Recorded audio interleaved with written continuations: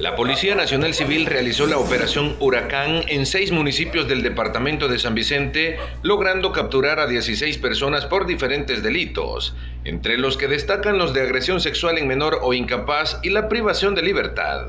También presentamos casos de eh, estafa, como también de hurto, eh, un total de 13 detenciones eh, desarrollados en diferentes municipios del departamento de San Vicente.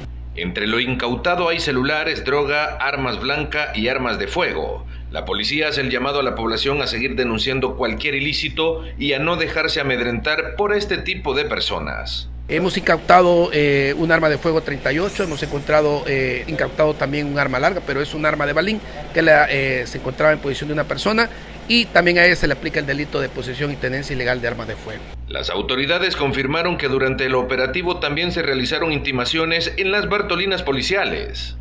Este es un reporte especial desde San Vicente para Telenoticias 21, Nelson Quintanilla.